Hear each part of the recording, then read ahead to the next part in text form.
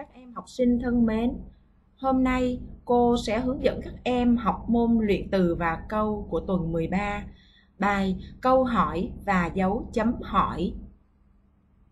Luyện từ và câu, câu hỏi và dấu chấm hỏi.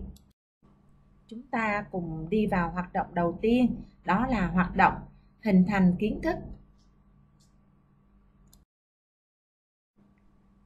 và chúng ta cùng tìm hiểu phần 1, đó là phần nhận xét. Các bạn cùng mở sách giáo khoa trang 131 để cùng tìm hiểu yêu cầu nào. Yêu cầu ở phần nhận xét này là đọc thầm và gạch dưới các câu hỏi trong bài tập đọc người tìm đường lên các vì sao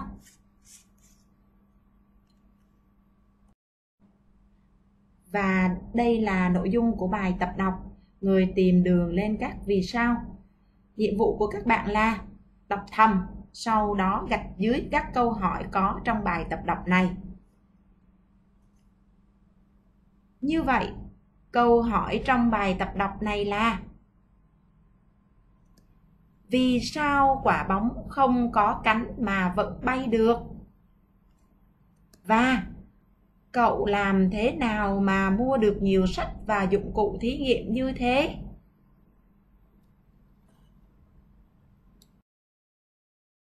Như vậy, các bạn vừa tìm được hai câu hỏi như sau. Câu thứ nhất, câu thứ hai. Vậy các bạn có thể cho cô biết câu hỏi dùng để làm gì nào? À, câu hỏi dùng để hỏi về những điều mình chưa biết. Ví dụ, vì sao quả bóng không có cánh mà vẫn bay được? Hoặc là, cậu làm thế nào mà mua được nhiều sách và dụng cụ thí nghiệm như thế? Thì đây là câu hỏi để hỏi về những điều mình chưa biết. Phải không nào các bạn? Câu hỏi dùng để hỏi về những điều chưa biết còn gọi là câu nghi vấn đó các bạn ạ. À.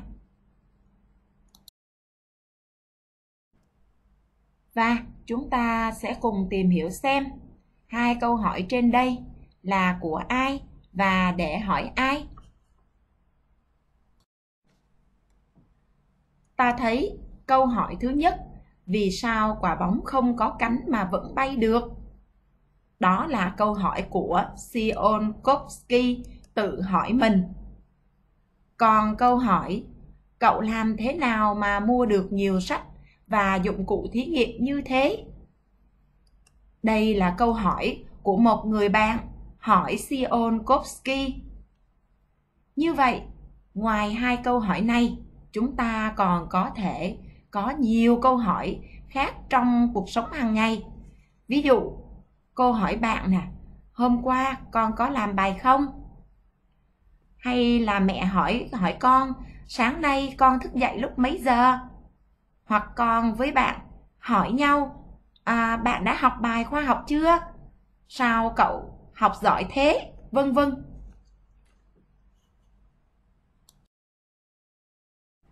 Như vậy ta thấy phần lớn câu hỏi là để hỏi người khác nhưng cũng có những câu hỏi để tự hỏi mình.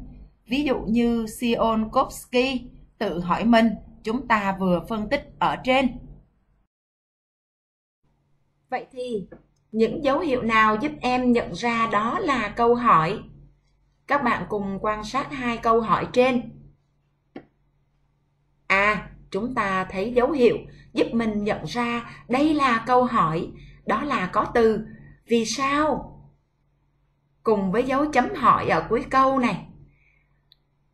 Từ thế nào cùng dấu chấm hỏi ở cuối câu. Các bạn cùng quan sát từ vì sao này, từ thế nào này. Cùng với dấu chấm hỏi ở cuối câu này thì đây là những dấu hiệu giúp mình nhận ra đó là câu hỏi. Và câu hỏi thì thường có các từ nghi vấn, ví dụ như vì sao, thế nào, Như vậy, câu hỏi thường có các từ nghi vấn.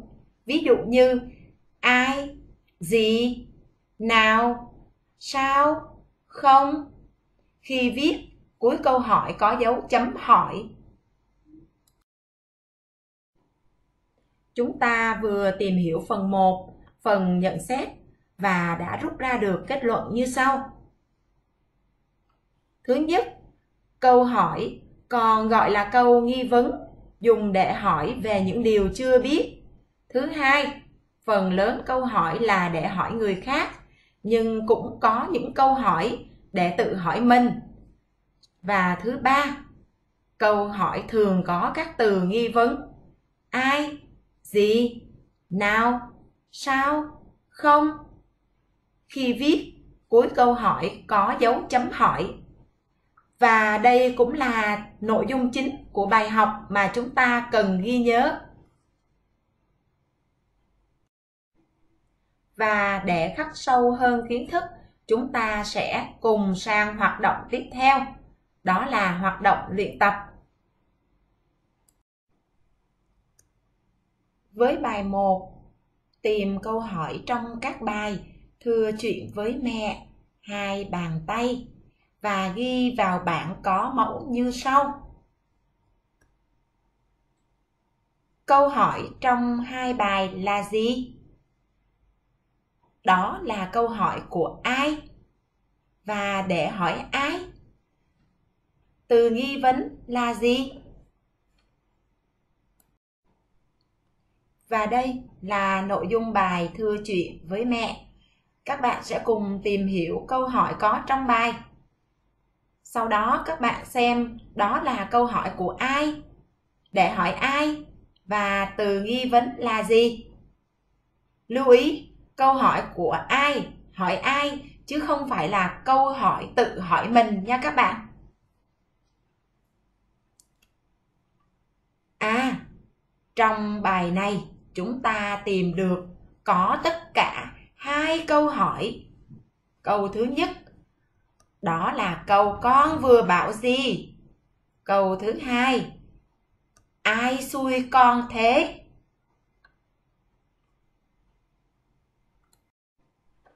Và trong bài thư chuyện với mẹ có câu hỏi, con vừa bảo gì?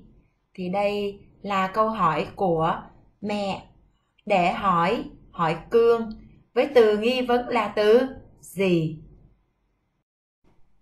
tiếp theo, câu ai xui con thế thì câu hỏi này là của mẹ để hỏi cương với từ nghi vấn là từ thế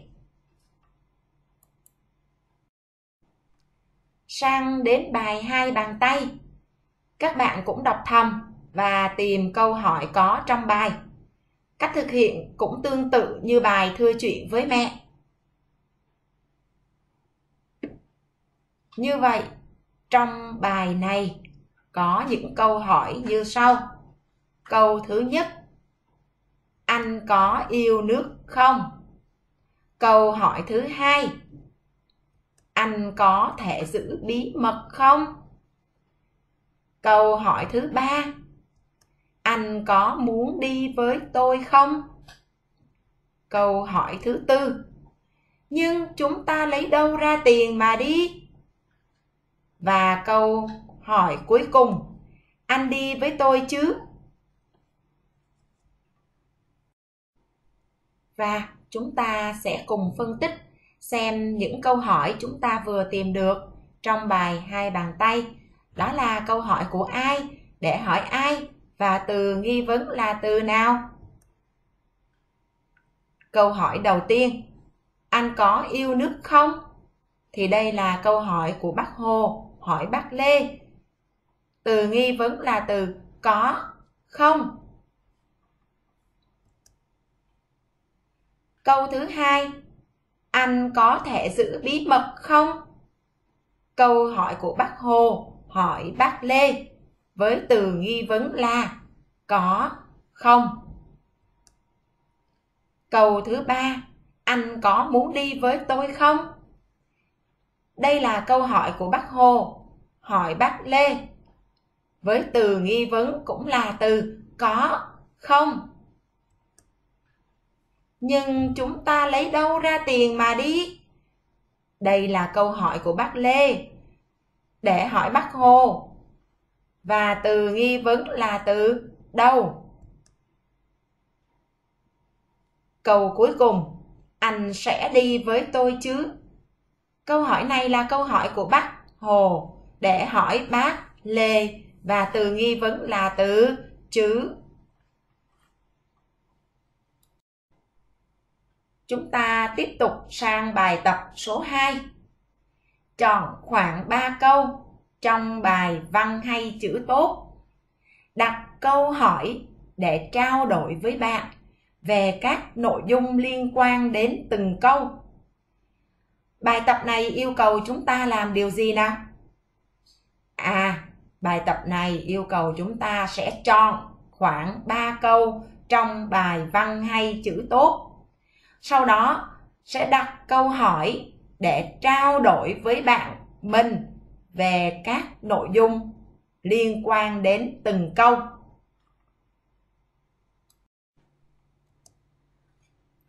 Đây là một đoạn trong bài văn hay chữ tốt.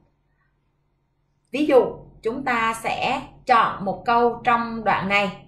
Cô lấy ví dụ như câu Thủa đi học, Cao Bá Quát viết chữ rất xấu, nên nhiều bài văn dù hay vẫn bị thầy cho điểm kém.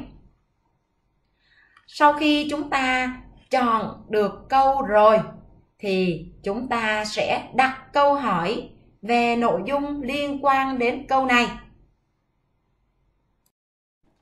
Chúng ta có thể đặt những câu hỏi như sau. Thủa đi học, chữ cao bá quát thế nào? Hoặc là chữ ai xấu? Hoặc là có thể đặt vì sao cao bá quát thường bị điểm kém?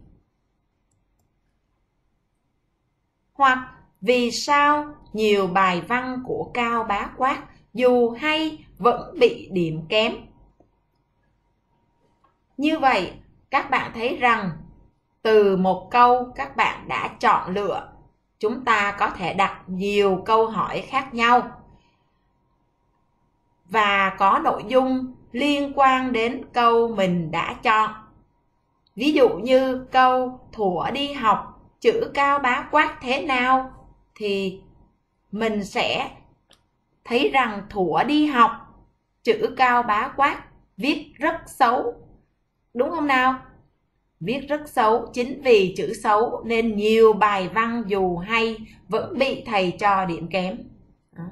Có thể đặt chữ ai xấu thì là chữ cao bá quát, viết rất xấu và vì sao Cao Bá Quát Thương bị điểm kém?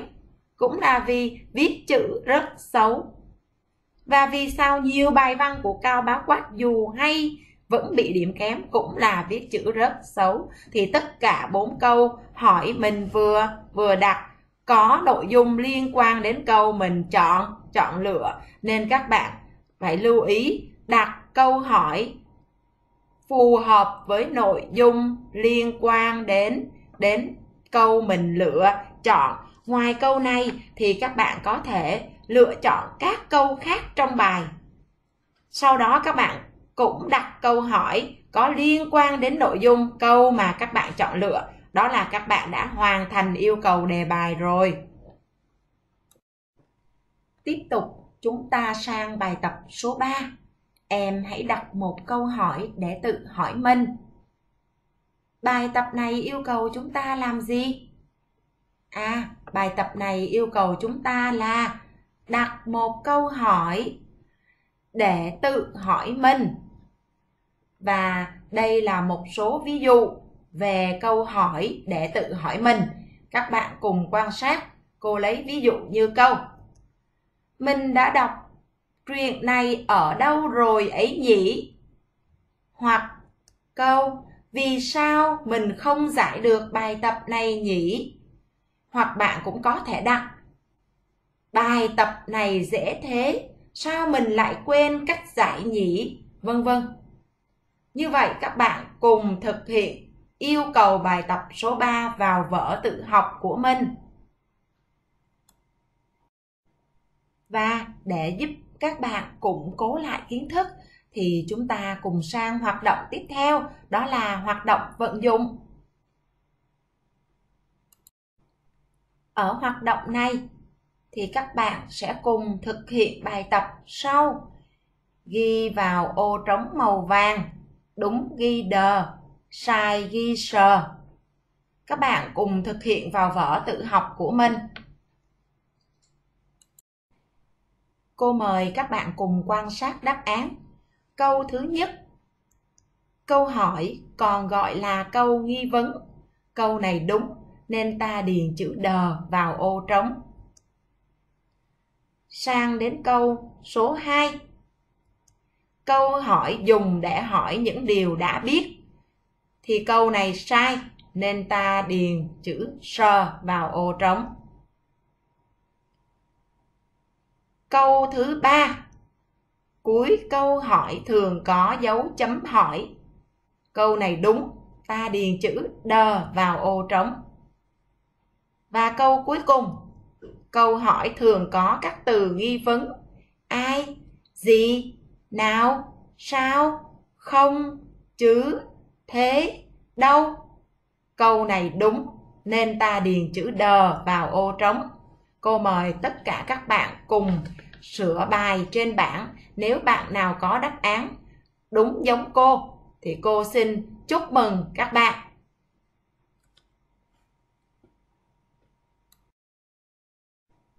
Như vậy, chúng ta vừa hoàn thành xong bài học, câu hỏi và dấu chấm hỏi.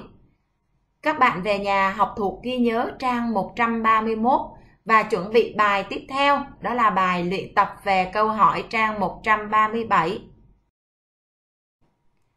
Tiết học của chúng ta đến đây là hết rồi. Cô chúc các bạn nhỏ luôn chăm ngoan, học tốt. Xin chào tạm biệt và hẹn gặp lại các bạn trong tiết học sau.